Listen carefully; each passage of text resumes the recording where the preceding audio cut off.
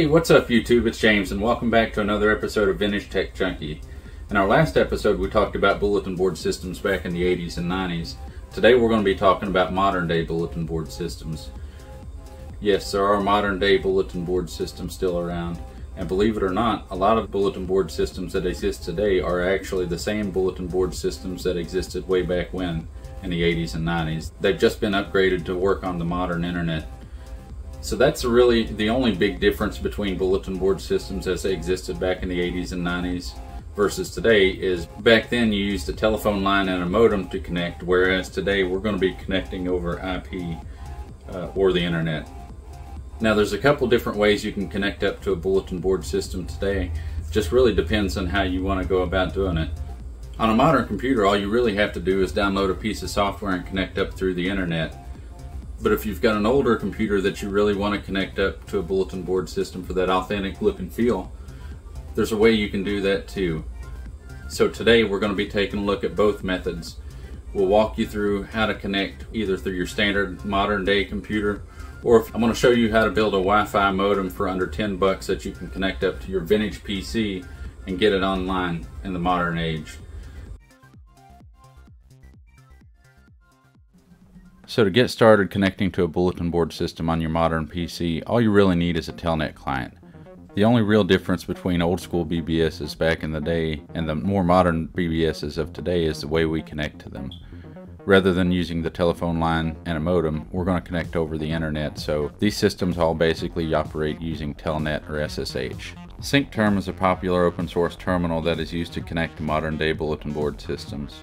It supports both Telnet and SSH, which makes it very useful for connecting to basically any bulletin board system in existence today.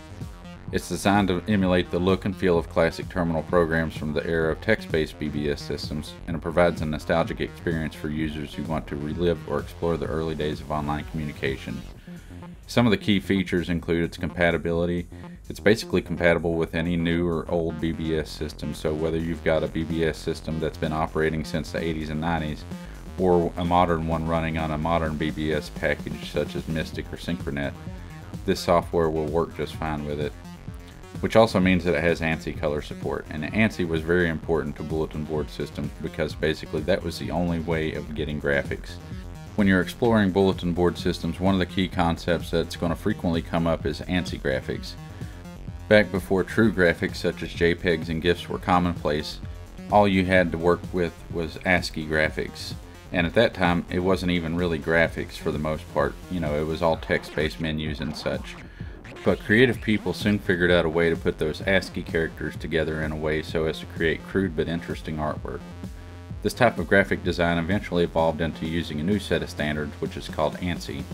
ANSI enabled people to create ASCII text-based graphics in color and enabled more advanced functionality.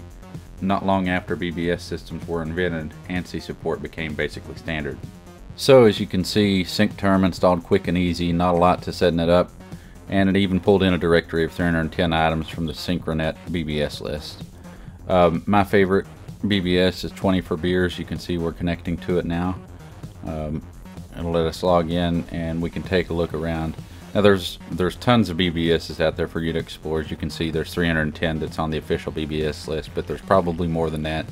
Some of those links may be dead; they come and go uh, but some of them have been around for quite a while, so it's fun to just explore. Um, and this is a really good demonstration of ANSI graphics. Um, you can see it's kind of crude, but it's also kind of cool. So, you know, when I log in, it's telling me that I've got two messages, um, and it's got various menus and things. Now, you can see this is a highly customized bulletin board system, and there's tons of stuff on here you could go through and do all day long. So I really encourage you to come kind of just log in and play around. It's all free. Um, everything is free. Here's an IRC uh, room that I just joined. Uh, took me a second to kind of figure out how to get out of here, uh, but you could uh, log into an internet relay chat server.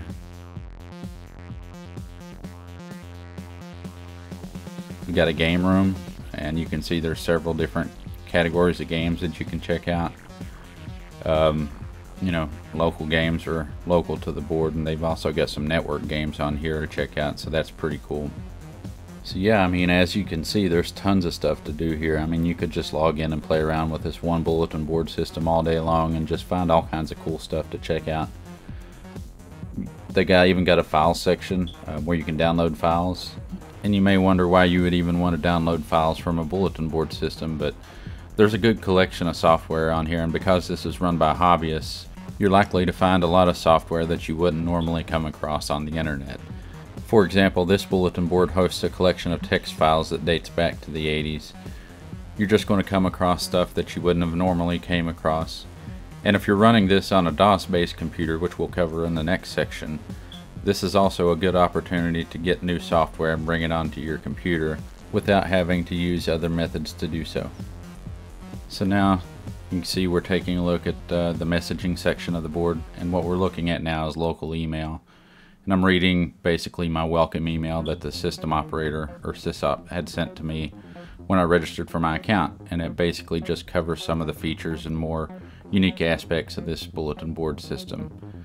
Um, I encourage you to sign up and uh, when you get the welcome email read it that way you know what's going on with this bulletin board system.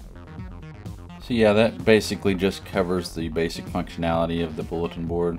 We'll go ahead and log off. As you can see, it's asking uh, if we want to leave a message for the next caller. That's kind of a fun little thing. You can leave uh, a message when you log off, so we'll just type Vintage Tech Junkie was here.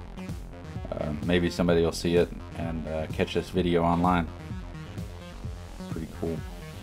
Um, so yeah, we just type what we want. Uh, we've got three lines maximum. Uh, we'll just use one line.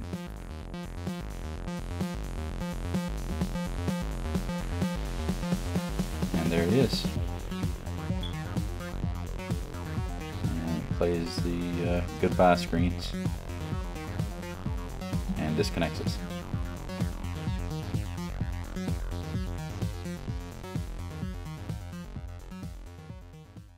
So before we can connect up to any of these bulletin board systems on our old machines, we have to build a device that will allow us to emulate a modem over the internet. Thankfully for us, a gentleman by the name of Paul Rickards has already done this. He's created custom software for the ESP8266 module that successfully emulates the AT commands found in the old telephone modems so that it can trick your older computer into thinking that the internet is actually a modem. Now this opens up a whole world of possibilities for you to bring your older machine onto the internet. Now I originally started looking for this when I wanted to build a Wi-Fi adapter for my Commodore 64. I had seen some of those online and thought it was a really neat idea and just started looking into it. This method is actually an ingenious one because it doesn't really matter what type of old computer that you're using as long as it could use a modem then you can connect to the internet. So the only hardware we really need in order to connect up to the internet is going to be our 8266 module and a serial port adapter of some kind.